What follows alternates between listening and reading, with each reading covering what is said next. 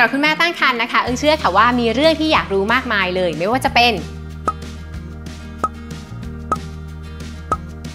ไม่ต้องห่วงค่ะ ทุกปัญหามีคำตอบวันนี้นะคะเอิงจะพาคุณแม่มาดูพัฒนาการตลอด 9 เดือนของลูกน้อยที่อยู่ในครรภ์กันค่ะ ว่าลูกน้อยเนี่ยเขามีพัฒนาการอย่างไรกันบ้าง เอาแบบเข้าใจง่าย ๆ เลยนะคะ ไปกันเลยค่ะ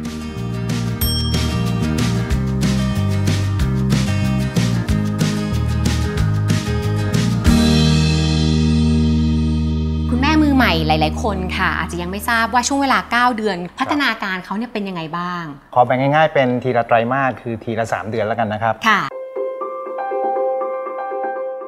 อได้ประมาณเดือนหนึ่งเนี่ยก็ขนาดจะประมาณเม็ดกาดำพอ 2 เดือนก็จะประมาณเท่าเม็ดองุ่นนะครับประมาณสัก 1-2 เซนค่ะพอ 3 เดือนก็จะประมาณสัก 3-5เซนติเมตรถึงแม้จะขนาดเล็กนะครับแต่ก็มีความสำคัญมาก เพราะว่าช่วง 3 เดือนแรกหลายคนคงทราบว่าเป็นช่วงที่ร่างกายสร้างอวัยวะที่สำคัญต่างๆ ทั้งเรื่องของสมองแล้วก็ระบบประสาทไม่ว่าจะเรื่องของการมองเห็นการได้ยินค่ะการเคลื่อนไหวทั้งหลายแหล่เริ่มมีแล้วเพียงเริ่แต่มคุณแม่ยังไม่รู้สึกอ่าใช่ครับค่ะ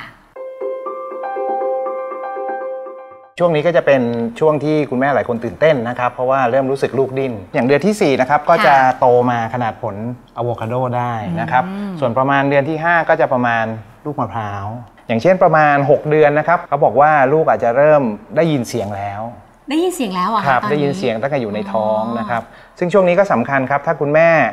ทำได้ก็อาจจะเริ่มพูดคุยกับลูกค่ะเล่านิทานให้ลูกฟัง ร้องเพลงให้ลูกฟัง หรือว่าง่ายกว่านั้นก็คือเปิดเพลงให้ลูกฟังตั้งแต่อยู่ในท้องได้เลยนะครับทำไมไตรมาสสุดท้ายคือตัวใหญ่ขึ้นเร็วขนาดนี้คะคุครัณหมอเขาก็จะโตเร็วครับก็คือใกล้จะคลอดแล้ว ซึ่งเดือนที่ 7 8 9เนี่ยเขาก็จะเจริญเติบโตอย่างรวดเร็วนะครับ ช่วงนี้สำคัญครับ เพราะว่า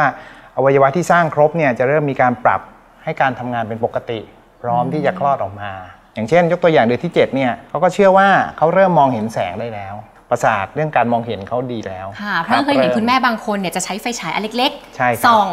บริเวณหน้าท้องอันนี้ก็เป็นตออายุจ็ดดือนวิธีหนึ่งที่ช่วยกระตุ้นพัฒนาการด้านการมองเห็นเขาได้นะครับค่ะเรื่องสำคัญอีกอย่างหนึ่งค่ะคุณหมอที่คุณแม่หลายคนสงสัยก็คือว่า ตอนที่ท้องเนี่ยจะกินอะไรเป็นพิเศษดี ถึงจะบำรุงลูกในท้อง อันแรกเลยก็คืออาหารหลักห้าหมู่คุณแม่ต้องกินให้ครบถ้วนนะครับส่วนอาหารหรือสารอาหารที่จำเป็นระหว่างตั้งครรภ์ก็มีหลายอย่างนะครับอย่างเช่นถั่วอย่างเงี้ยค่ะ อาจจะมีพวกธาตุเหล็กมีแคลเซียมนะครับแล้วก็มีกลุ่มเส้นใยที่เป็นไฟเบอร์นะครับซึ่งอันนี้ก็จะช่วยได้เรื่องระบบย่อยอาหารคุณแม่ได้ค่ะบรอกโคลีก็จะเป็นแหล่งแคลเซียมที่ดีอันหนึ่งนะครับอืมมีโฟเลต ส่วนเรื่องปลาปลานนะครับ อันนี้ก็เป็นแหล่งโปรตีนที่สำคัญนะครับ ย่อยง่ายเป็นแหล่งของ DHA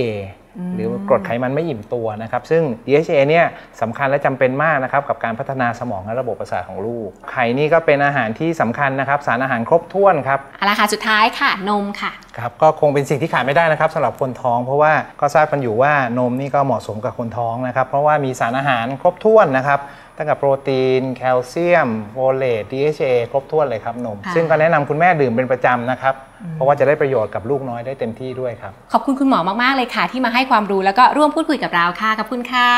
ครับ สวัสดีครับค่ะ และเพราะเส้นทางสู่อัจฉริยะนับหนึ่งที่ตัวคุณ มาเตรียมลูกน้อยให้พร้อมสู่การเรียนรู้กันนะคะ เราเชื่อค่ะว่าอัจฉริยะสร้างได้ตั้งแต่ในครรภ์มาเริ่มก้าวแรกที่ดีที่สุดด้วยกันที่ www.enfababy.com ค่ะ Awakened by the morning sun. New day have just begun. Through the open window, warm and gentle wind invites you to take a walk.